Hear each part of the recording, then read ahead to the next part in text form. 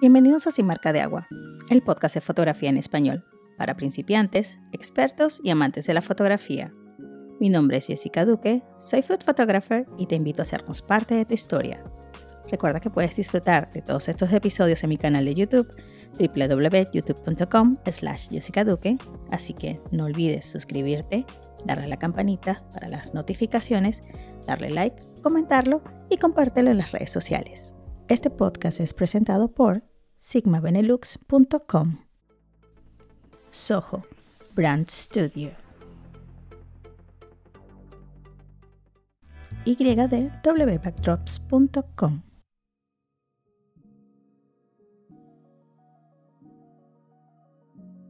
Un fotógrafo y una estilista maquilladora se unieron para crear una experiencia. Según ellos mismos, evolucionaron de creadores de contenido a creadores de experiencias, compartiendo ideas que fueron siempre tabú hasta que evolucionaron su mentalidad.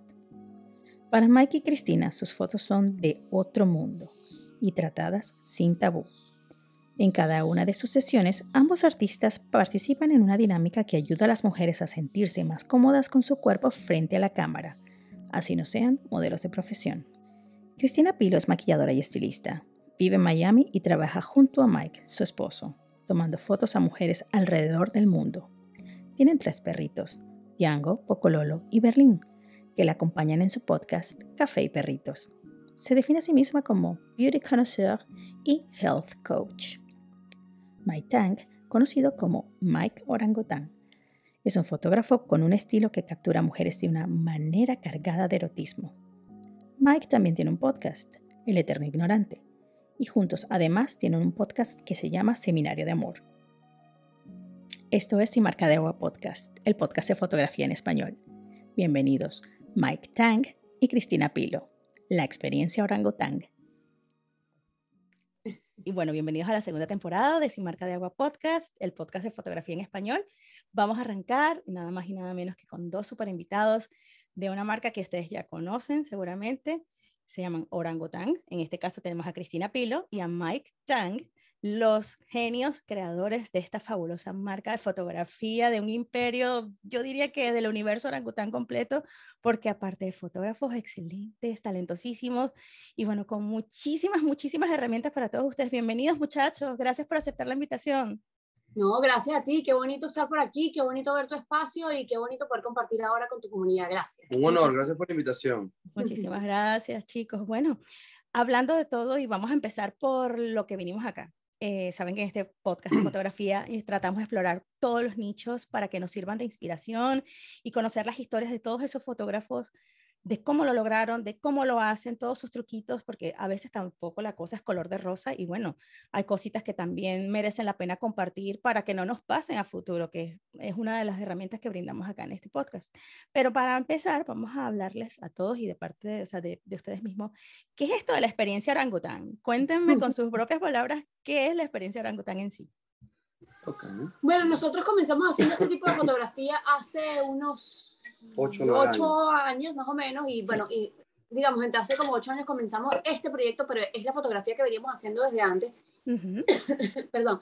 Y lo que nos fuimos dando cuenta en el proceso es que la gente regresaba a hacerse las fotos constantemente a pesar de no necesitar realmente el resultado, pero venían porque se sentían muy bien. Sí. Decían, mira, yo no necesito las fotos, pero es que yo vengo para acá y me siento inspirada y quiero eh, lograr más cosas y después de que me fui de ahí eh, logré mantener mi, mi, rutina de ejercicios o renuncié a este trabajo que no me gustaba o dejé a mi pareja que no me hacía feliz y regresaban como con esa idea de que el photoshoot les había dado una inspiración para hacer algo más en su vida o para sentirse bien, para aprender a amarse. Y pues en repetidas ocasiones empezamos a escuchar esto una y otra vez, una y otra vez y nos dimos cuenta de que a pesar de que sí, la foto, el resultado final era chévere, era importante, era bonito, la gente venía porque se sentía muy bien estando aquí en el proceso de las fotos. Y entonces empezamos a nosotros mismos darle forma a esa experiencia. Eso pasó hace, yo creo que unos tres años ya, que empezamos a decir, ok, la importancia realmente de todo esto es la experiencia. La foto es realmente solamente un recuerdo de lo que viviste ese día. Y ahí nace la experiencia real. Exactamente. Genial. Y bueno, por acá tengo que el trabajo de ustedes consta en desnudar el alma, y cómo logran ese empoderamiento, porque es fascinante ver los resultados de un antes y un después. Como les comentaba al principio de o fuera de cámara, me ha gustado resultados de algunas personas como Erika de la Vega, que, que ahora es, no hay quien la pare después de esa fotosesión, por decirlo así. ¿Cómo logran ustedes eso? Es un, es un, es un proceso de apreciación. Eh, en la sociedad vivimos creándonos, compitiendo contra unos estándares que se nos han vendido y bueno, y la competencia es natural, pues se nos damos, sobre todo con la mujer. Con la mujer es un poquito crudo porque es como la persona que está, eh, es la persona que la, que la sociedad aprecia vocalmente, verbalmente, es más, aceptada esa idea. Mira, la mujer tiene que verse, verse de una manera, es aceptado que te digan bella, el hombre le puede decir bella o fea o no atractiva. Realmente nosotros concientizamos esa idea de eh, no, todo el, no todo el mundo tiene el mismo look y aquí tratamos de aceptar tu realidad, no importa la realidad que sea. Eh, yo creo que tiene que ver con mi, mi realidad. O sea, mi realidad es que si tú estás al lado mío te vas a sentir apreciado porque esa es la realidad que yo he, tratado de buscar. Ese es mi gran trauma de vida, esa es mi, esa es mi necesidad de vida, sentirme apreciado. Sí. Yo me quería ser, yo era esa persona que no me decían que yo era bello, no me decían que era suficiente y traté de, de, convertirme en una persona que se quería a sí mismo. Y me quiero muchísimo y soy mucho, bastante egocéntrico. Y durante la experiencia de la fotografía yo empecé a hacer esto. La, mi primera clienta se llama Cristina Pilo. Esa, esa, primera persona que yo ayudé a inyectar confianza es mi esposa. Y es la persona que yo obviamente quería conquistar porque es una persona que yo admiro muchísimo. Cristina es una persona impresionante para mí. Y cuando empezamos a dar la práctica juntos, eh, nos empezamos a dar cuenta que la gente se estaba llevando seguridad de aquí. donde, sea, donde sea que le diéramos la experiencia, pasar un rato con nosotros es un momento donde te vamos a retar y te vamos a aceptar tu realidad, no importa la realidad que sea, y te vamos a ver tu belleza, que no tiene nada que ver con tu apariencia física. tiene que ver con tu historia. Tu historia, no importa la historia que sea. No te vamos a juzgar, no te vamos a decir que estás haciendo algo mal. Te mostramos como un espejo y te decimos, mira, tú eres increíble por tu realidad. Y puedes sentirte mejor y, y, no, y no tiene que venir, como dice ella, desde el odio, te tienes que amar. Puede venir de, de la construcción, no tienes que destruirte más, porque la sociedad es la que te está destruyendo, no eres tú. Bueno, a veces la gente dice, ay, pero qué bonito, por ejemplo, dices, tienes el cabello, ay, entonces tú en vez de aceptarlo como un cumplido y decir, ay, conchale, muchas gracias, em, ay, pero es que no me echo la raíz, de verdad te gusta.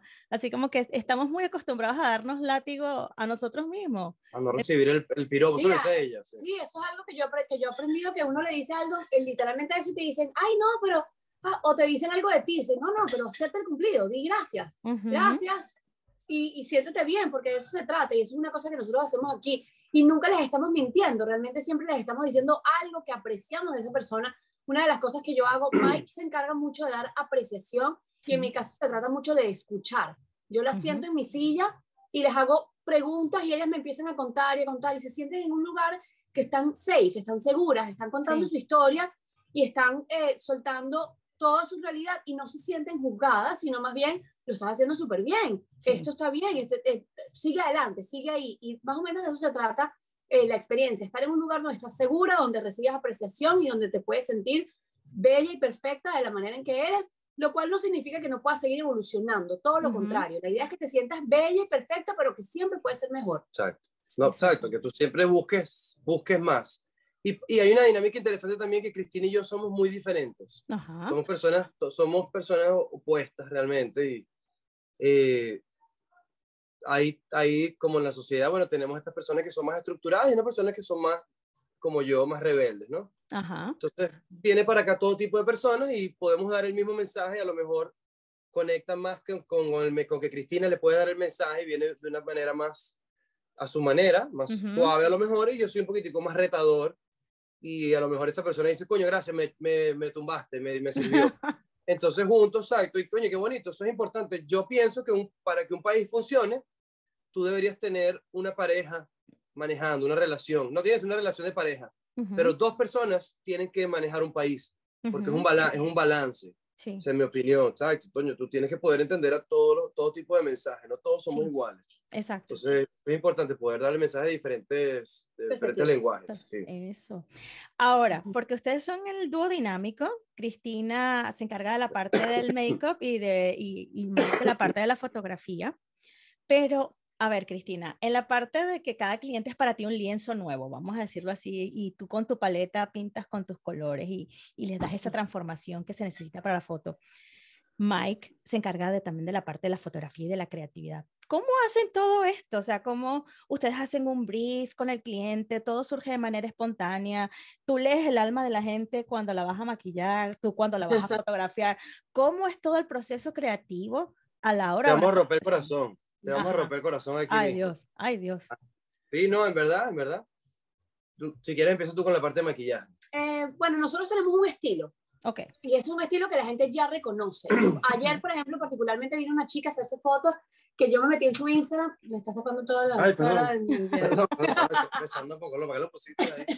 Eh, ella, yo la vi en su Instagram, ella se maquilla mucho y utiliza eh, maquillaje bastante cargado. Y yo le dije, mira, este no es mi estilo, yo te puedo maquillar así, pero realmente nosotros somos de algo más natural. Y ella me dijo, no, yo vine acá para hacer lo que ustedes hacen. O sea, que la gente ya sabe que cuando vine para acá, nosotros nos... Sí, es cierto, yo te maquillo, te pongo base, te pongo rímel, te pongo un montón de cosas, pero trato de mantener siempre tu, tu cara y tu cuerpo lo más natural posible, porque yo no te quiero tapar ni te quiero cambiar. Yo quiero que tú te veas en la foto y digas, ese soy yo y soy espectacular y soy bella y ves que brillo desde adentro. Y eso es lo más importante para nosotros. Exactamente. Eh, parte de la razón de por qué creamos una experiencia del photoshoot es porque, bueno, yo no estaba contento con el tipo de carrera que estaba haciendo. La fotografía comercial no es algo mm. que, que, me represente a mi orangután, no es mi arte.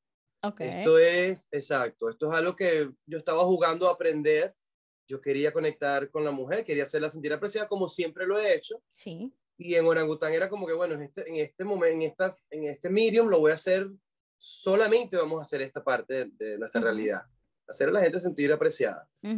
Eh, y mientras yo aprendo de fotografía, juego. Y él decía, bueno, eventualmente será mi nombre artístico, pero se convirtió todo lo contrario, más bien me fui, dejó de ser mi nombre artístico y como Cristina y yo venimos de una como un circuito comercial. Trabajamos con artistas, trabajamos con, eh, no sé, disqueras, agencias, a veces fotografías de eventos, todo tipo de fotografía. Pudimos de alguna manera entender que eh, el trabajo como globalmente, podemos hacer de todo. De hecho, yo empecé haciendo fotografía gastronómica. Ajá. Y así, aprendí de fotografía, exacto. El, primer, mi primer acercamiento. Ok. Eh, yo no estoy contando historias en orangután. Estoy creando historias, exactamente. No estoy contando historias, no, es, no son unas historias que yo estoy contando, no es mi editorial. Eh, es, como dice Cristina, ven como tú eres, te estudiamos un poco, eh, usamos mucho las redes sociales para saber qué tipo de cosas te gustan, qué te atraen y cómo te podemos exaltar, a quién admiras tú, para ver cómo yo te puedo hacer ver como la estrella que tú admiras, porque hoy tú eres la estrella. Entonces tú vienes aquí a jugar a ser tú la estrella y eres la estrella, ¿verdad? Porque tienes nuestro canal te mercadeamos en nuestro canal y eres la estrella. Nuestro, utilizamos nuestro, el, la validación que nos da la popularidad para hacerte sentir que tú eres la estrella. Te damos toda la atención. tú, tú, estás pagando por, por toda la atención y todo lo que, nos, lo que nos cuesta crear, pero es para que tú seas la estrella, brother. Es para ti. Wow, entonces el proceso creativo es ese, ¿no? O sea, es improvisado. Improvisado. Es improvisado. Nosotros, el modelo llega, la, la mayoría de las veces nosotros no sabemos quién viene porque nosotros no somos lo que pautamos el shoot, sino lo hace Valentina, mi hermana, nuestra buca.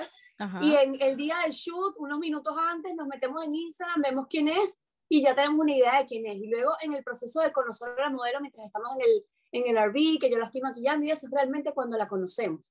Pero la gente viene para acá a acercarse a nuestro estilo, no al revés. Yo no voy a hacer las fotos como tú quieras hacerlas.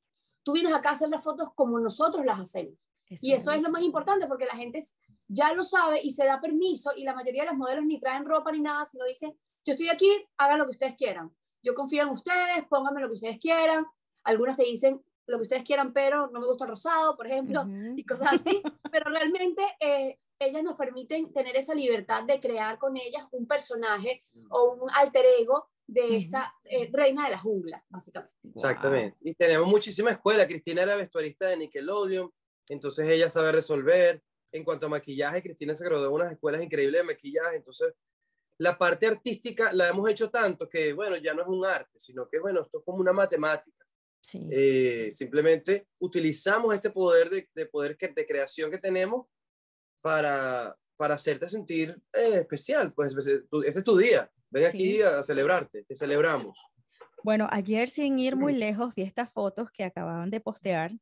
Qué chica más espectacular, me sentí identificada. Yo quiero unas fotos así. ¿Cuándo vienen a Holanda? ¿Cuándo vienen a Holanda? Mira, tenemos una Holanda que en noviembre vamos a Europa, principalmente vamos a Madrid, pero vamos a ver si logramos hacer un par de paradas, pit stops en el camino. Eh, y bueno, Amsterdam es una de esas ciudades que queremos ir demasiado. Seguro que van a tener buqueadas todas las sesiones. Yo me voy a anotar en esas. Ojalá que Qué espectacular. Estas fotos eh, las voy a mostrar acá en video para, para el canal de YouTube. Y bueno, voy a compartir por acá toda la información de ellos también en la cajita de descripción. Pero de verdad, me sentí tan identificada y decía, Dios mío, o sea, cuando la vi, yo dije, eh, fue amor, yo sentí amor cuando la vi a ella. Es una chica con su cuerpazo, eh, es la, para mí es una modelo. Yo la vi como una modelo y yo decía, Dios mío, pero qué fotos más lindas. Y sentí en esta parte lo que, como, como lo del amor propio. Yo decía, yo soy gordita también. Entonces mi esposo me mira con unos ojos que me quiere devorar todo el tiempo, así como que eso es amor también. Entonces yo cuando la veo a ella, yo dije, con razón mi esposo me quiere comer. Así como que ya, yo dije, o sea, la foto me transmitió ese amor que mi esposo me transmite a mí que yo a veces me quedo así como que, que me veste a mí? Así como que si ni siquiera me he peinado. Eh, mm, de eso ya, ya veo de que de eso se trata la experiencia orangután, es amor, amor. Y a nosotros nos, escriben muchos modelos, si no todas, el 90% de las chicas que nos escriben nos dicen, eh, ay, es que yo no tengo el cuerpazo, ay, es que yo no, me, no estoy preparada, ay, es que quiero perder tantas libras o tantos kilos. Y es, es, es repetitivo, es decir, coño, de verdad, Celébrate ahorita. Si después pierdes los libros, si después te sientes más bella, si después... déjanos que seamos nosotros los que te demos el impulso para llegar a esa meta, pero en el camino te tienes que querer y te tienes que amar. Te celebras ahorita con tus libras de más, sin tus abdominales, sintiéndote no en el top of the world. Deja que seamos nosotros. Ven para acá que te vamos a hacer sentir que estás en the top of the world.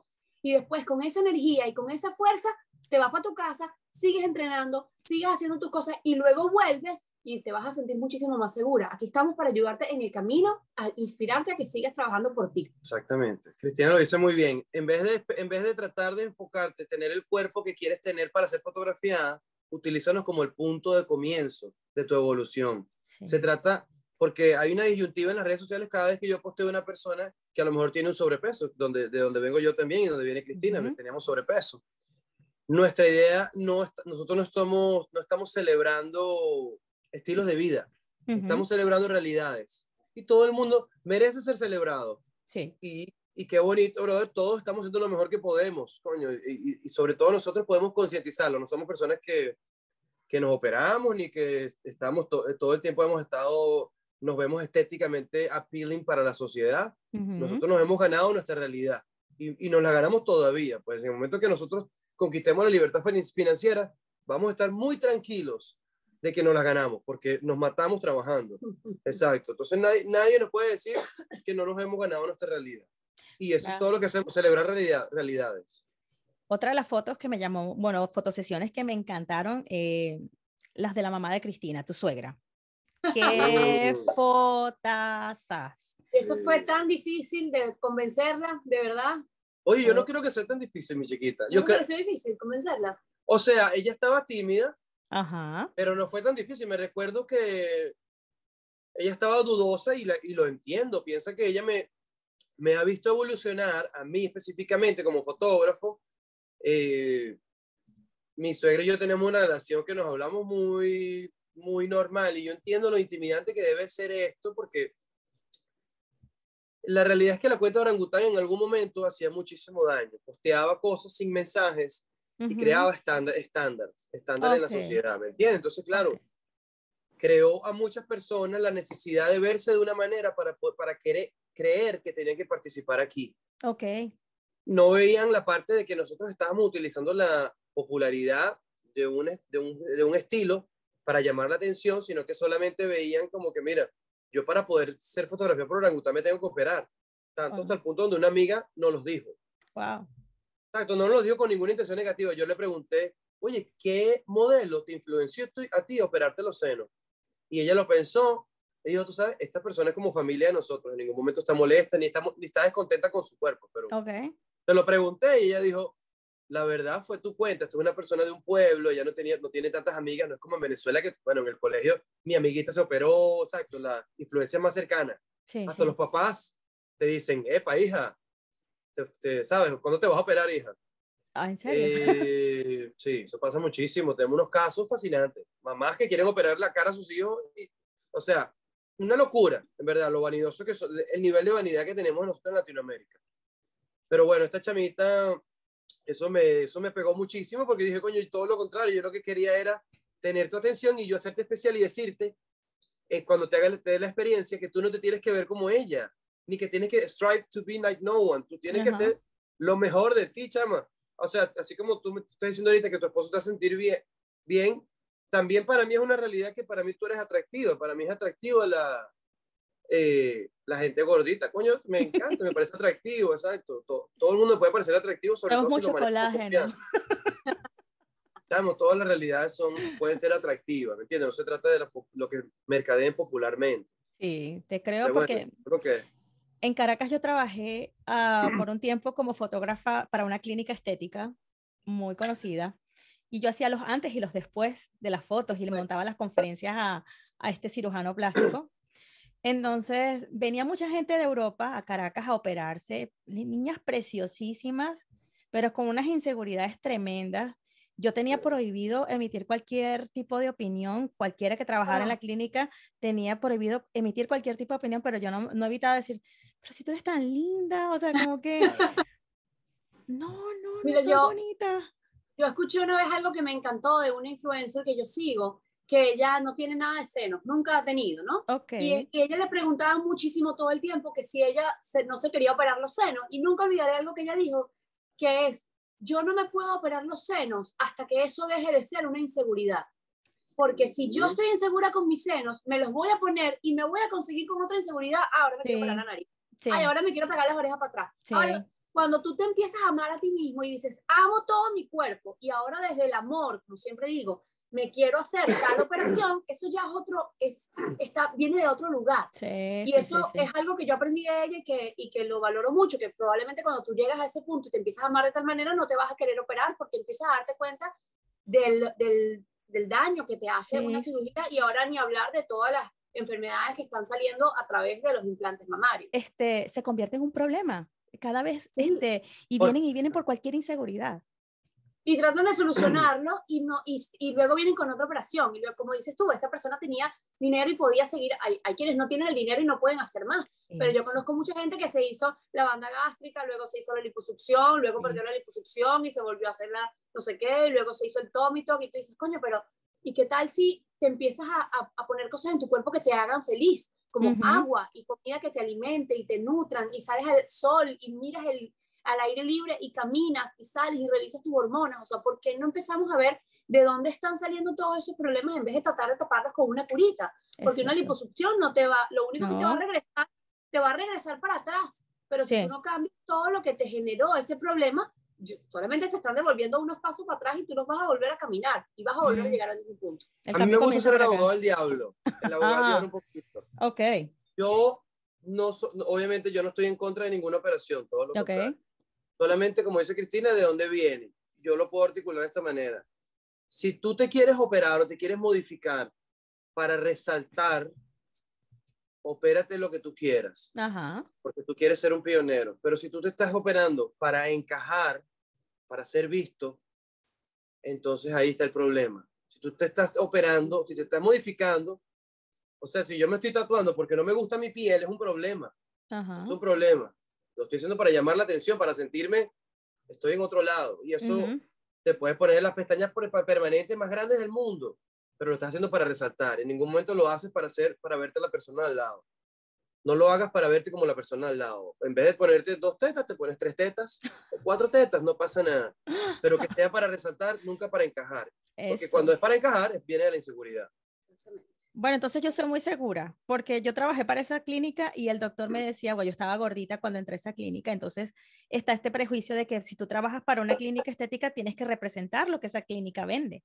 Entonces me decía, si tú no rebajas, te voy a meter en el quirófano. Más rápido que inmediatamente me cosí el pico. Dije, empecé a comer toda la plancha al vapor, me hice como que un, un switch aquí en el cerebro y dije, a mí no me van a operar de nada, yo no lo necesito porque ya había visto tanto que yo decía, pero ¿para qué? Lo que tú dices es es, es como que un atajo.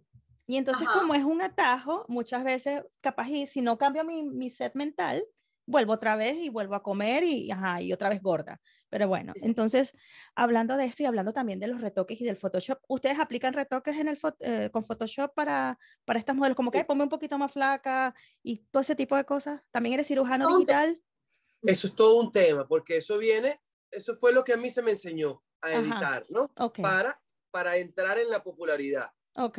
Cuando yo no edito o no entro en la popularidad y no me va bien en las redes sociales, todo el mundo me dice, ¿por qué las editan? Y no, o sea, no me lo dicen, pero...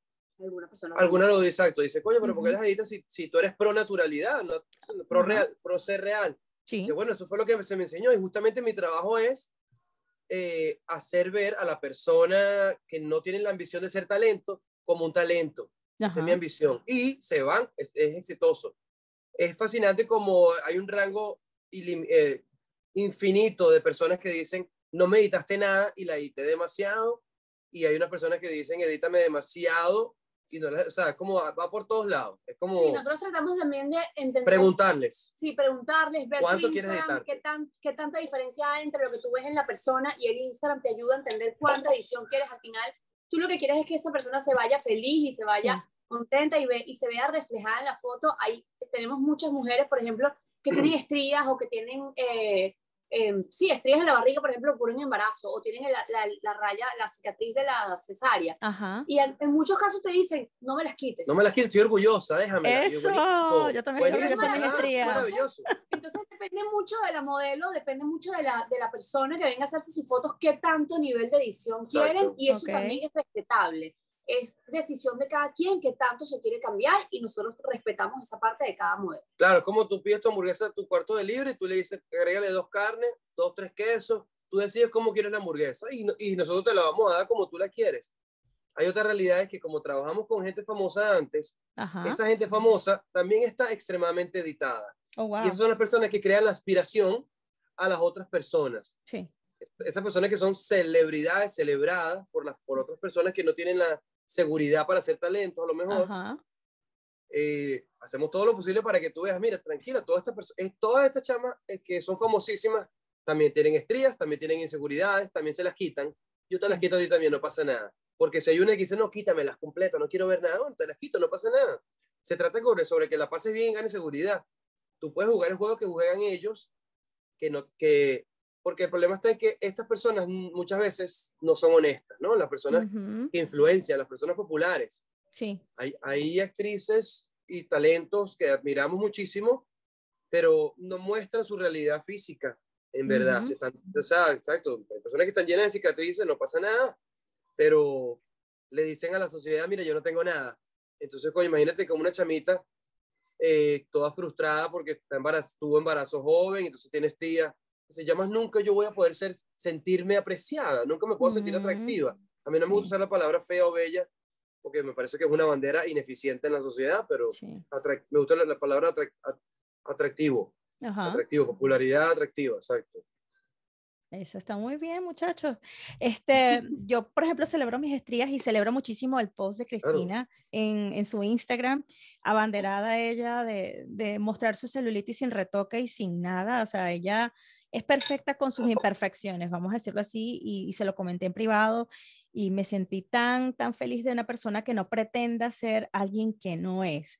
Y eso para mí es ejemplo de celebridad, de celebración, de, de no sentirme como que, oye, porque yo tengo celulitis, no la muestro. ¿Qué importa? Yo sé que tengo que hacer cambios, que tengo que de repente comer más sano, hacer más ejercicio, tomar más agua, pero, pero sabes que no me siento menos fea o, qué sé yo, pero mírala a ella, qué, qué orgullosa de su la idea, que, que, veas tus inseguridades como algo que forman parte de ti y que te hacen quien eres, porque está esa necesidad constante de, de, como dice Mike, de encajar y de verme igual a la de al lado. Yo no me quiero ver igual a la de al lado. Si yo me quisiera ver igual a la de al lado, no me hubiera tatuado, no me hubiera hecho las cosas que me hago, ¿sabes? Yo más bien quiero ser diferente. Y a mí me sorprende mucho cuando la gente me dice, eh, ay, qué, qué, rico ver tus posts porque eres tan real a diferencia de todas las otras personas que veo en Instagram. Y mi respuesta siempre es, deja de seguir a toda esa gente. Toda la gente que yo sigo en Instagram, todo el mundo, pero el 80% de la gente que yo veo en Instagram habla como hablo yo, hablan de realidad, hablan de positivismo, de hablan de retarse, de seguir, de evolucionar, de salud. Entonces, estás siguiendo a la gente que no es. Si yo soy la única persona en tu cuenta que te genera esa felicidad, borra toda esa gente y vuelve a empezar de cero porque pasamos demasiado tiempo en una red social, en esta red social particularmente, y si nos está generando inseguridad, entonces es nuestra responsabilidad cambiar, cambiar lo que estamos consumiendo, así como uno dice, no voy a ver películas de terror en la noche porque no voy a dormir. Es lo mismo, no voy a consumir una persona que me está haciendo daño, que me hace eh, sentirme insegura. No la consumas. Yo estoy de las películas, por cierto. bueno, pero a ti no te dan pesadillas. Y hablando, hablando de esta red social que es el amor y dolor de cabeza de todos, el Instagram, donde todo el mundo quiere estar, donde todo el mundo quiere crecer, ser famoso, lo que sea, cada quien está en su derecho de, de hacer lo que le dé la gana con su cuenta.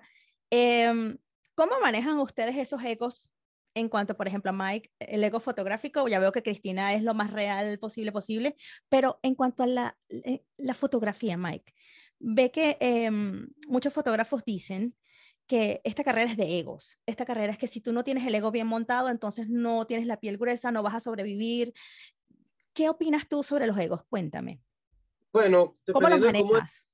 el ego es como, esa, es como para mí como el amor. Esas son esas palabras que si tú vas a una cena y tú le preguntas a cinco personas en esa cena, en una, vas, sales a un restaurante y vas con cinco amigos y tú le preguntas a, esas cinco personas, ¿qué es ego para ti? ¿O qué es amor? Todos te van a dar una respuesta diferente. Entonces es muy importante primero describir qué es el ego. Como yo entiendo que es el ego es simplemente cuánto te amas y el ego es importantísimo para un artista porque es tú decir, yo tengo, o sea, mi trabajo es tan pro que la gente merece verlo. ¿no? Básicamente, sea lo que sea. Un panadero, cuando hace una panadería, dice, oye, mi pan es tan rico que yo voy a abrir una panadería para que la gente venga a consumir mi pan. Entonces, todos somos artistas, brother. No me parece que solamente la gente que está haciendo fotografía es artista, ni los músicos. Un cirujano es un artista. Todo el mundo tiene la capacidad de ser artista eh, y, tiene la capacidad de romantizar su práctica. Eh, el ego es importantísimo. Obviamente, como todo, hay que tratar de concientizar cómo nos comportamos en la sociedad. Pero, o sea, si tú no tienes ego, entonces, ¿cómo, por, qué me, por qué me mostrarías algo? Simplemente ese es tu, oye, tú me estás diciendo, oye, estoy creando arte, lo quiero exponer, para que sea juzgado, para que sea compartido. Realmente tú quisieras conseguir validación con eso, que la gente te diga, oye, qué, buen, qué buena pieza, qué buen pan, qué buena cirugía, cualquier cosa. O sea, tú quieres un buen feedback de tu arte. Pero bueno, también tienes que, así como recibir los piropos, también tienes que recibir las críticas, no pasa nada. Eso es lo que nos construye. So, el ego es importantísimo, claro, el ego es el drive, el ego es quiero participar, sabes que no me voy a quedar solo, imagínate yo que haga mis fotos solo y me quede y nadie las vea coño, qué chimo, no me quiero, yo quiero conectar con alguien, brother. Y este es mi lenguaje. Ok, ahora, hablando también del Instagram, que también es una de las preocupaciones porque los Reels se han convertido en la prioridad de la plataforma en vez del contenido estático. ¿Los qué? ¿Los qué? Los Reels, los Reels. Ah, ok, ok. ese, ese, es el dolor de cabeza ahora. Todo el mundo está, sobre todo en la comunidad fotográfica, todo el mundo está como un poquito decepcionado de que su alcance ya no es el mismo con el contenido estático. ¿Te ha afectado este, este cambio del algoritmo en cuanto a que posteas contenido estático? ¿Tus fotos? Sí, primero a mí me gustaría decir que yo no demonizo las redes sociales, yo tengo frustraciones como todo el mundo. Ajá. las redes sociales son las nuevas valles de las autopistas. Ahora que no transitamos tanto en la autopista, transitamos es en el celular. Sí. Bueno, en algún lugar tenemos que consumirnos, monetizarnos, darnos valor. Ahora que estamos, mientras más, más personas participan en el Internet, antes antes teníamos esa idea de que era un 2% que estaba en Internet. Hace poco buscamos y ahora casi 50% de la población mundial está en Internet. Entonces, hay que entender que ellos eh, la gente que maneja el sistema, las redes sociales, coño, está tratando de decir, mira, conquista tu comunidad, tu zip code. la, gente que tienes alrededor de ti, dale valor a tu comunidad, porque si yo te hago popular a ti en Rusia, no le puedes, no puedes monetizarse. Tú vas para Rusia, tú, tú dices, yo puedo trabajar aquí, no puedes trabajar en Rusia. Cada persona tiene que alimentar su comunidad. Entonces, bueno, nos hace, nos hace daño, nos quitaron popularidad, nos quitaron alcance, pero tenemos que entender que de alguna manera tenemos que dar valor a la sociedad, aportar valor a la sociedad que tenemos alrededor, ¿no? Sí. como decir a nuestra tribu. ¿Entiendes? Yo tengo, que, yo tengo que fotografiar a la gente que está aquí. Si yo viajo a otro lugar, me gustaría participar porque me gusta viajar el mundo, pero sí. Tenemos que concientizar que tenemos que alimentar la gente alrededor de nosotros. Eso es importante. Pero bueno, sí, con respecto a los reels, la verdad es que ha sido, ha sido un reto, porque sí, nuestro trabajo es, es, fotográfico y aunque hacemos videos, hacer videos no es hacer reels, ¿no? No. reels es hacer reels. Y es, y es una cosa que nos ha tomado nos toma, nos toma bastante tiempo de planificación porque, bueno, porque nosotros hacemos muchas cosas. ¿eh? No solamente son los shoots, tenemos nuestras marcas, tenemos nuestras compañías, nuestra casa, nuestros perros, nuestra vida, nuestra vida saludable y entonces además de eso hay que crear contenido específico para, no solamente para Instagram, hay que crear contenido específico para TikTok, que es como hacer reels, pero en TikTok, y hay que hacer todas estas, todos estos contenidos diferentes, pero muy parecidos, pero diferentes y similares y diferentes para todas. Es, es, es, bastante, es, es, una carga de trabajo importante, eh, pero es la manera en que el mundo se está moviendo. Exactamente. Yo, yo, ah, con todo el desagrado que le tengo a la red social y la rabia que le tengo, que nos, no sé qué, que nos encasilla, todo eso, la realidad es que es como que fue, que es primero el huevo o la gallina, que es la red social que está cambiando o es el consumidor que está pidiendo otro tipo de contenido. Porque ahora estamos, no quieren ver videos, la, gente ya no ve películas porque son muy largas. La gente ve películas metido en el celular, estamos todo el tiempo consumiendo diferentes plataformas al mismo tiempo. Estamos escuchando un podcast mientras estamos leyendo un libro.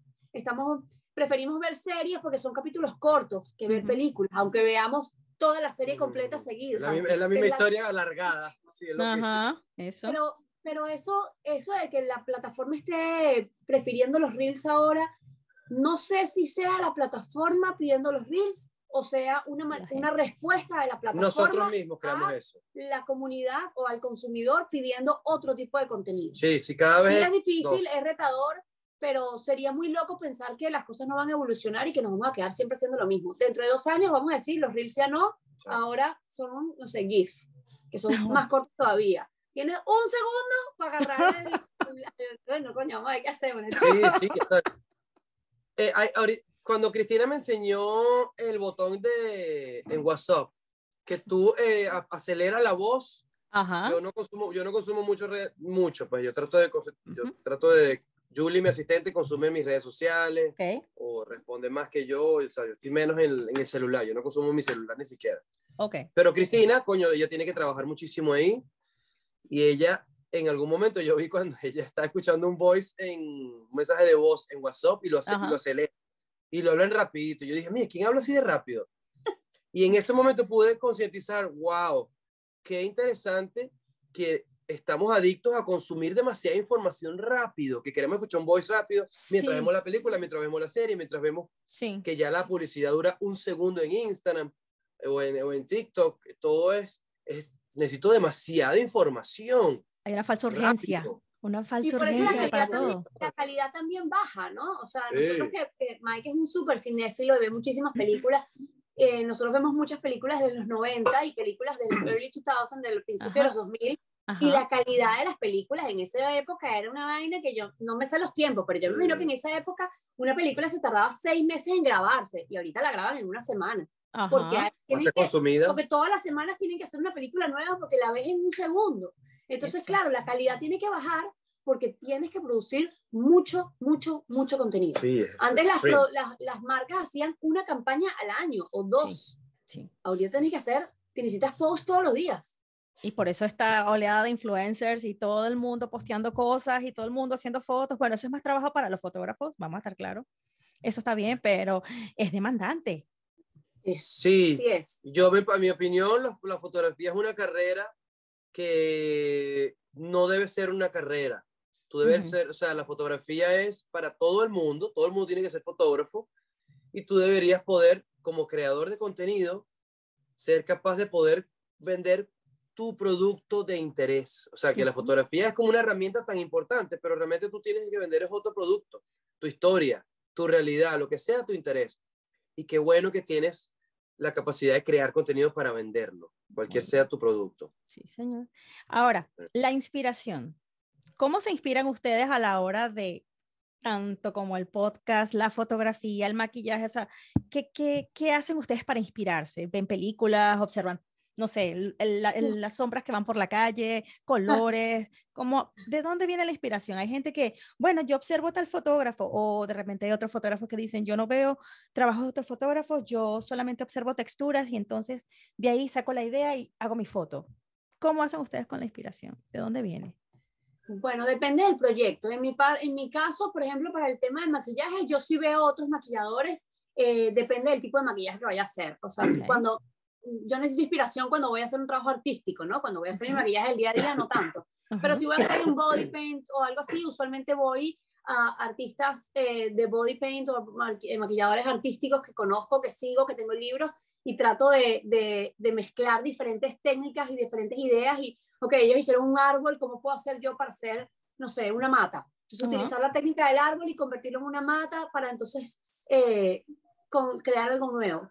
Para mi podcast es realmente bastante más complicado porque tenemos que grabar todas las semanas. Nosotros tenemos ahorita, no sé, somos 200 podcasts y estamos constantemente grabando podcasts. Y un lugar donde yo saco inspiración constantemente es de mi comunidad. Y de todas esas preguntas, y por eso yo todas las semanas lanzo preguntas a mi Instagram, porque la mayoría las contesto en mis stories, pero también hay unas que son tan interesantes o que se repiten tanto que me permiten entonces desarrollar un tema dentro de alguno de nuestros podcasts.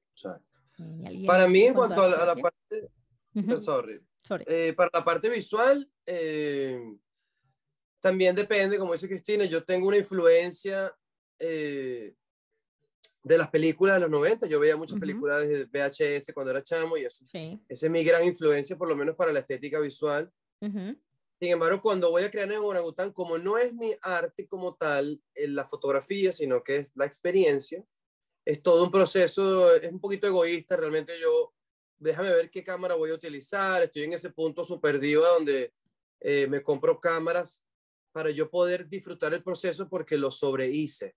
hubo una época en Orangután que hacíamos cuatro fotos al día por cuatro años seguidos. O sea, cuatro sesiones.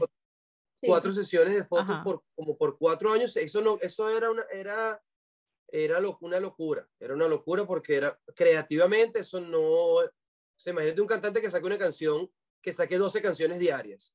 Eso, eso, es demasiado, o sea, es demasiado, exacto, no manera de, de manera de disfrutar esa, ese arte, imposible, que tú cantes la canción todas las noches, la misma canción, te vuelves loco. Pues. Sí, sí, sí, este, Entonces, bueno, obviamente, mm, como todo, oh, mi comportamiento obsesivo siempre me lleva a, a sobreconquistar mi ambición me volví loco, entonces bueno, yo disfruto el proceso, me agarro una cámara diferente, ahorita me estoy comprando una cámara que me hace bajarle dos, en vez de buscarme una cámara muy tecnológica, me estoy buscando una cámara que me haga ser fotógrafo otra vez. Ok, cuéntanos un poco de esa parte de las, de las cámaras, que es muy interesante para toda la, audiencia. Pues, mire, yo, yo soy súper egocéntrico, así que yo me voy a llevar el crédito de la popularidad de Sony cuando empezó a salir. Cuando, cuando Sony cuando empezó el juego de las redes sociales, yo soy ese primer fotógrafo que ayudó a mercadear sexualidad en Instagram. Exacto. Y mi eh, Sony compró mi Nolte y crearon la Mirrorless. Primero, primero lo hizo Olympus y luego pasó esta transición y empezaron a mercadearse la Sony. Y Sony siempre ha sido como muy tecnológico, muy pro para, para sí, como herramienta, como tal, ¿no? Con cámaras de video. Y yo me fui por ese juego, empecé a trabajar con Sony y bueno, se, cada vez se hacía más fácil hacer fotografía. Yo empecé con Canon cuando empecé con fotografía y era muy buena. Sí. Pero Sony fue fascinante como que tú con los ojos cerrados, hoy en día tú puedes hacer fotos con los ojos cerrados, era fascinante. te hace muy sencillo hacer fotografía. Y, y, para, un, para un chamito que está ambicioso y no está haciendo más nada en su vida, coño, es buenísimo, una herramienta increíble, me parece. Sony, ahora Canon, ahora todo el mundo ya se montó en esa ola donde tecnológicamente todo se hace muy fácil crear muy buenas fotografías. Por eso hay una piscina de muy buenos creadores en Internet, creadores increíbles, chamitos. Pues. Eh, Pero como todo te dije, coño, simplemente son unos celulares profesionales. Sony, Canon, eh, Nikon, exactamente. Son, son celulares extremadamente profesionales, porque el celular, el problema está que tú estás en un segundo, inmortalizas la foto y inmortalizas 100 millones de fotos, selfie, lo que sea, y no las ves más nunca, no las aprecias, le pierdes demasiada apreciación porque tienes una piscina, así como meter, cuando te metes en Netflix y no sabes qué ver. Eh. ¿Entiendes? Es como que tengo demasiadas opciones, ya no, no es especial. Eso nos lo enseñó un cliente, un, tipo adulto, un tipo que, un cliente de nosotros que nos trataba muy duro, pero nos enseñó algo muy importante. Si tú le das, el, este tipo tiene una marca de lentes, y él decía que si tú le das a... si él yo, estaba tratando de jugar el juego de los influencers. Exacto. Ajá, tratando de explicar a él cómo funcionaba el tema de, bueno, mándale los lentes a un influencer, que el influencer lo va a postear, todo esto hace cinco años. Y él decía, bueno... Más, diez eh, años, diez años. Bueno, o sea, no, porque era... Antes de Orangután, sí, sí. y, y él nos decía, si yo les mando a los influencers cinco pares de lentes, ellos les va a dar igual, porque son cinco lentes, pero si tú les mandas uno, le estás diciendo que es especial, que es costoso, que es un lente realmente de lujo, a diferencia de que le mandes 3, 4, 5, que terminan por ahí botados y no les dan la importancia que merecen. Entonces, da ese eh, protagonismo a tu producto, que realmente vale suficiente para darte o para enviártelo, etcétera, es lo que aprendimos. Exactamente. Entonces, bueno, igualito en la creación, ahora estoy trabajando con cámaras que, que no son buenas con el autofoco, que, que que la experiencia es lo primordial, con Leica específicamente. Sí. Eh, es muy simple. No significa que la cámara sea más o menos capaz. La imagen no es tan capaz, tiene un color muy único también, pero el proceso de creación disfrutas tanto, coño, que estás disfrutando el camino. Sí. Y tomas muchas menos fotografías. Yo tomaba uh, demasiada fotografía. yo tomaba fotos así, en burst, todo. Entonces, me duraban un año, dos años, ya se jodía el shutter. Sorry si estoy diciendo mucho eh, groserías. No se lo vamos a poder vender a Disney el podcast ya. Ok, no, yo soy cero, yo soy anti-Disney. Chiste interno.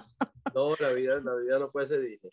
Este, y bueno, es eso, yo me trato de complicar el proceso para tomar ahora mejores fotografías, a pesar de que no estoy creando mi arte como tal, Oye, yo quiero asegurarme de que, de que yo voy a disfrutar el proceso, de que no me apure, porque yo naturalmente ya estoy muy apurado. Entonces trato de bajarle dos ahorita. Estoy tratando de bajarle dos al, a la aceleración, porque ¿para dónde voy? Para ningún lado. he, parado, he parado en muchos años. ¿Y cuál lente usas así como que la, la que sea, como, cuál es tu go-to? Así como que esta es la, la, lente que yo no suelto, pero para nada.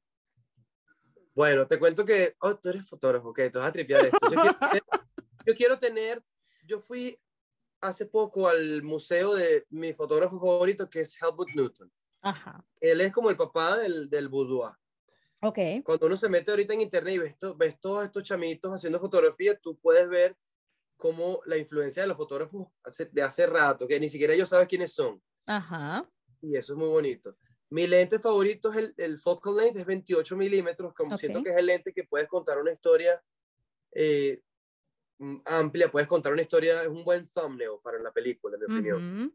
Y quiero tener todos los 28 milímetros que existen en el mundo, pues. Exacto, es una locura. Porque fue al museo de Helmut Newton y vi como él tiene muchísimas cámaras. Bueno, tenía, están ahí, todavía las tiene. Eso es parte de su historia. Bueno, pues si yo hablo de, si yo hablo de él, él está vivo. Claro, así funciona la vida. Tú, tú quedas vivo por cuán egocéntrico hayas sido en tu vida y cuánto hayas compartido, cuánto tu ego haya compartido. Porque si tú eres un artista increíble y ni siquiera se lo compartiste con tus amigos, ¿quién va a hablar de ti? Entonces, el día que tú te mueras, nada más tu amigo se supo de ti. Eso. Pero si, claro, pero si tú gritas ¡Ah! a millones de personas, tu realidad, tú quedas vivo por un rato. Claro, un rato largo. En la palabra, claro, mira, Newton está vivísimo. Por eso. Aquí estoy en los libros, hablo de él, influencia muchísima gente, qué bonito eso. Sí. Eh, So, este tipo en su museo eh, fuimos a, es como una casa, hicieron como una réplica de su casa y yo tengo ese sueño de que crear un museo de estas casas donde nosotros vivimos y que, que tener todos estos equipos, toda nuestra historia, seguir contándola, pues. Sí. Entonces, bueno, el 28 milímetros es favorito. Eso, sí, eso. 28 milímetros. 28 milímetros y entonces estás trabajando con una Leica. ¿Y fotografía analógica haces? No hago porque no es eficiente, pero quiero hacerla porque puedo apreciar la visual. ¿no? hasta ahora no hay rango dinámico en una cámara de digital.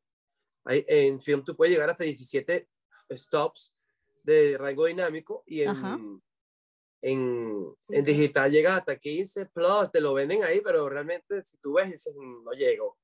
Entonces, eh, quiero llegar a ese punto donde puedo, yo quiero tener como una especie de dark room aquí en la casa, pero bueno, todavía no estoy tan viejo, entonces voy para allá.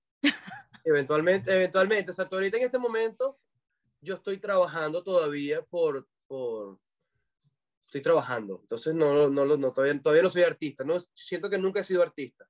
Veo el mundo artísticamente y mi arte es muy, es esto, vocalizar, ser predicador y conectar con la gente, hacer a la gente sentir bonita, increíble, ¿sabes? Ese es mi arte, pero hasta ahora no he sido un artista, yo digo, ok, estoy listo, vamos a hacer esta pieza para yo decir este mensaje, sea cantando, en el cine, como sea. Ahora, porque me has dicho que cuando tomas fotos las haces así que es que en burst y que te salen sus fotos, fotos. Al momento de la postproducción, Mike, ¿cómo reduces todo eso? ¿Cuánto te toma una postproducción? es un, es un sistema, hemos creado un, un sistema. Eh, obviamente, sacándolo todo. No, buenísimo. Después, cómo funciona un shoot, por ejemplo. Hacemos una, como hemos practicado tanto, piensa que eh, nosotros te sistematizamos hasta, la, hasta las poses, el tipo de cuerpo. Todo empieza desde el tipo de cuerpo de la persona que viene para acá, eh, el tipo de fotografías que a esa persona le gusta, le llama la atención. Tratamos de emular eso.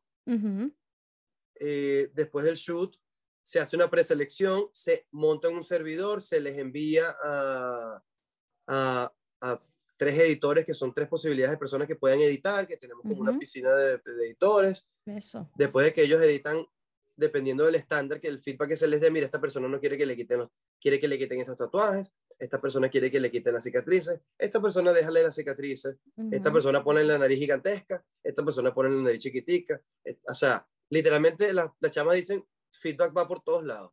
Okay. Eh, luego recibo las fotografías, eh, yo las, dependiendo de lo que ella quiera, se filetean o no, se le pone color y se texturizan y se entregan. Ya. Ese es más o menos el proceso y, eh, y entregamos alrededor de, ¿cómo decir?, 700 y 1000 fotos mensual.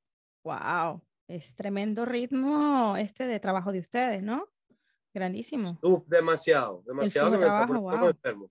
Por eso estamos enfermos. Bueno, y hemos bajado, mucho el, volumen de trabajo. Antes hacíamos, como te dijo Mike, hacíamos de dos a cuatro shoots al día, todos los días de la semana. Luego nos tomamos un día libre y ahorita estamos haciendo fotos nada más tres días a la semana. Y ese día pueden ser dos a cuatro shoots, eh, seis, depende. Eh, y nos tomamos un día libre, los otros tres días nos los tomamos para editar y para trabajar en nuestras otras marcas. Y bueno, como en este podcast también hablamos de salud mental y de creatividad, ¿cómo desconectan ustedes? ¿Qué hacen? ¿Qué herramientas eh, o, recursos aplican para poder desconectar, para que esa creatividad siga fluyendo, para que no terminemos en un burnout? Consejos para, para todos los fotógrafos que a veces se agobian por, por querer todo perfecto, por querer hacerlo todo al mismo tiempo, por ser multitasking. ¿Cuál es, ¿Cómo, es hacen ustedes? Es difícil porque, porque para cualquier creador eh, que viva de Instagram, digamos, lo más importante que tú puedes hacer para crecer tus redes sociales es compartir tu vida. Entonces, cuando no estás compartiendo tu vida, eh, no estás creando, no te mantienes relevante y es complicado. Yo sufro muchísimo de eso porque yo comparto desde que me despierto mi café con los perros, haciendo ejercicio, trabajando, cuando cocino, cuando estoy plantando, cuando me pongo la pijama. Entonces, cuando me quiero desconectar, soltar el celular es, es clave. Soltar el celular y no compartir lo que estoy haciendo. Eso es lo más importante que puedo hacer. Ya sea viendo películas, yéndome a la playa, pasando un rato con mis amigas, conectando con Mike solo, pero lo más importante que yo puedo hacer para desconectar es soltar mi celular. Exacto. No somos exitosos en eso, estamos, estamos burned out. Y yo estoy extremadamente burned out. Yo tengo una necesidad de ser artista. Yo estoy, cuando yo era chamito, en algún punto mi papá no me dejó tocar guitarra, ¿no? Eso fue oh. uno de mis grandes traumas. Conecto, conecto contigo. Claro, no, entiendo, somos la mayoría. Yo quería, yo quería hacer tantas cosas y, yo no sé ni tocar un instrumento, nada, o sea, como que conecto. Somos la mayoría, somos la mayoría donde teníamos un interés coño, muy... Artístico. sí, no, y un, y un interés de, bueno, artístico no, pero de niños, todos tenemos cierto interés y nuestros padres muchas veces, inconscientemente, no es su intención, te dicen, coño, mira, si no vas a poder aportar a la sociedad, si no vas a poder participar, si no vas a poder ser exitoso, tiene que ser ingeniero, lo que sea. Yo te hacen lo mejor que puedes. Sí. Pero ya estoy en un momento donde digo, coño, mira, no, si yo entiendo que yo tengo que conquistar otras realidades, yo tengo que seguir este tren de, de vida y tengo que seguir produciendo y tratar de mantenerme en- a flote, Ajá. pero yo no voy a morirme frustrado, necesito ser artista. Entonces, no, estoy, estamos- estoy tratando de, de solucionarlo para frustrarme como artista, pero no me quiero frustrar como, o sea, porque tengo una vida increíble, yo no me puedo quejar, la verdad que, o sea, tú, nosotros nuestra vida es increíble y Sí. la celebramos trabajando muchísimo. Nuestra vida, en verdad, no podemos quejarnos, o sea, es fascinante, vivimos en un zoológico, eh, un parque de diversiones, tenemos unos perros increíbles, nos sentimos, vivimos una vida saludable, salimos a correr con tres perros hoy y, y- y fue difícil correr y uno, y uno se va como malcriando, ¿me entiendes? Sí. Entonces, hacemos muchísimo esfuerzo para poder celebrar esta vida increíble que tenemos, no nos quejamos, o sea, no nos estamos quejando, simplemente queremos más. Entonces estamos burned out, no, no te voy a decir, no somos exitosos en eso, estamos burned out y estamos tratando de buscar eh, nuevos caminos, nuevas ambiciones y conquistarlas, pues no pasa nada. Me encanta la, la sinceridad con la que hablan los dos y que mucha gente dice como que lo que callan los fotógrafos, ustedes no se lo callan, o sea, la sinceridad por delante es algo con lo que lidiamos todos muchísimas veces porque queremos ser bueno, eh, buenos en lo que hacemos, queremos resaltar, queremos ser los mejores, eso no tiene nada de malo, pero, pero bueno, sé que van a estar trabajando en eso, ustedes tienen Claro. muchísimos recursos, llevan una buena alimentación, un estilo de vida, se lanzan en paracaídas, ¿qué no han hecho ustedes? Excelente. Exactamente. Ahora, chicos, para cerrar, porque sé que es- el tiempo de ustedes es súper valioso, estoy súper contentísima con esta entrevista. Recomendaciones para fotógrafos experimentados que quieren cambiar de estilo, pero que no se atreven.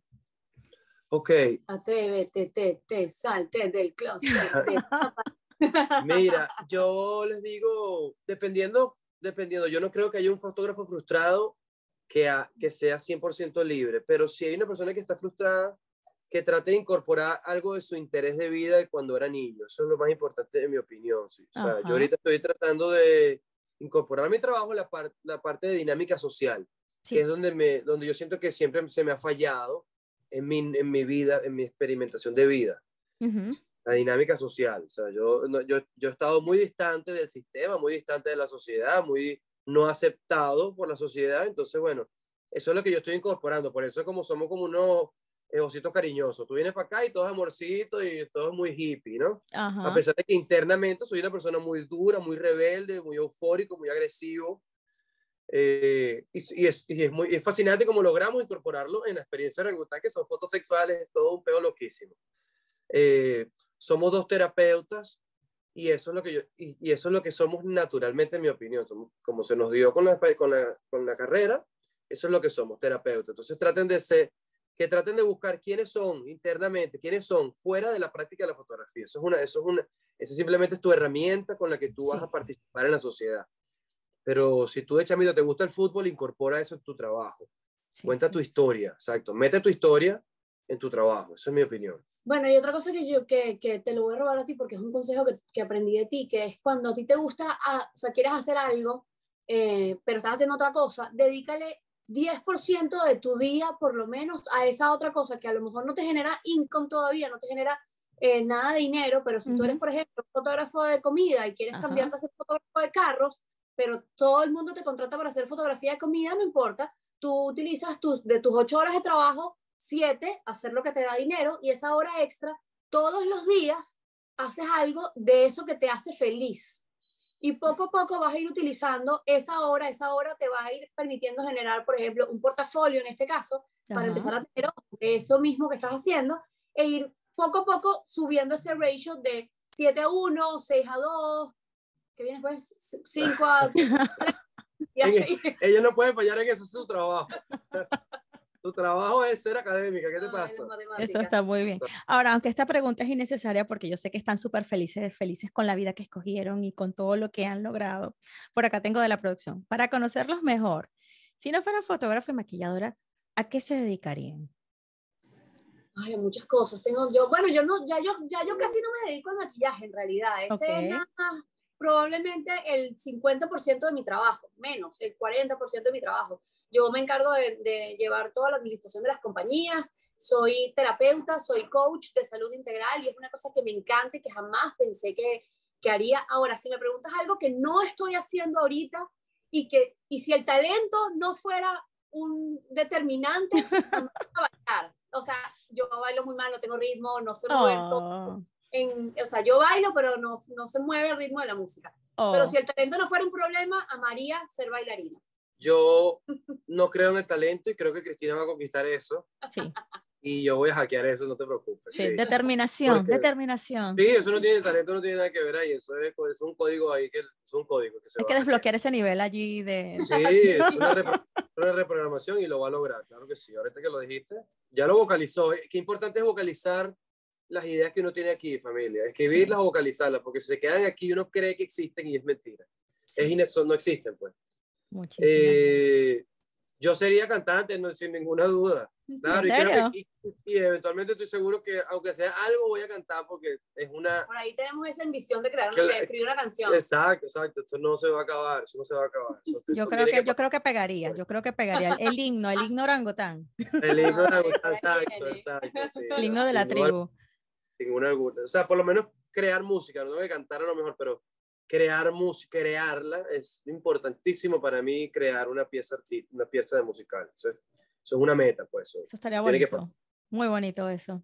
Yo mi meta sería terminar de aprender a tocar el ukulele que me regalaron en mi cumpleaños. ¡Oh, wow! ¡Qué pro! Que me regalaron un, ukulele. Yo lo tomo cuando a veces quiero desconectar y así suene mal, igualito ahí le voy dando. Le voy dando. Algún día sonará. Hay errores, hay error. Yo, mira, te voy a decir algo. Yo no creo en el talento. Yo creo que cuando a un niño le dan un lápiz y ese niño dibuja un, algo que es relativamente artístico para, para apreciar, ese niño tiene rato practicando y se está haciendo el loco y no nos dijo nada. Exacto. Es, pura, es, puro, es puro ensayo y error. Yo no creo en el talento. Eso no es real. Exactamente. Muchísimas gracias muchachos. Estoy súper contenta de haberlos tenido por acá en el podcast de fotografía en español. Eh, me quedo por ahí preguntarte, ¿cuántas cámaras en total tienes, Mike, para cerrar? Vamos a decir, funcionando, vamos a decir como 8 o 9, funcionando. Pero en total como, como 30 porque hay unas que no funcionan y están regadas por la casa. Sí, que ah, bueno. entiendas así de Exacto, pero funcionando que se usan, que se usan como 8 o 9. Bueno, cerrada la duda entonces. Bueno, chicos, muchísimas gracias por haber compartido todo sobre la experiencia de Orangután, sobre sus experiencias de vida, sobre sus experiencias como fotógrafo, como maquilladora, como creativos, como, bueno, este universo orangután, que les voy a invitar a todos ustedes que los visiten en sus redes sociales, en sus páginas. Voy a dejar todo por acá en la descripción del episodio. Y muchísimas gracias a todos por acompañarnos, de verdad. Un placer. Y será hasta el próximo. Gracias a ustedes. Gracias, family.